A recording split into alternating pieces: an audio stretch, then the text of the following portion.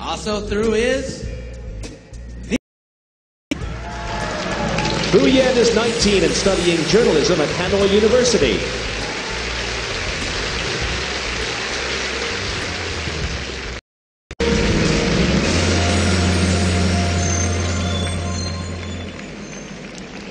Ladies and gentlemen, finalists. Their dream of winning Miss World might just come true tonight. And whoever achieves that dream is going to make a real difference around the world. So why don't we take another look at what makes them so special? Chào, my name is Nguyễn Thị Huyền. I'm 19 years old. I'm from Vietnam. I'm studying to become reporter for newspaper.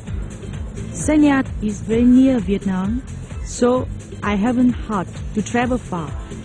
Uh, when I'm free time, uh, I like reading, listening to music, and dancing. Vote for me, vote for Vietnam.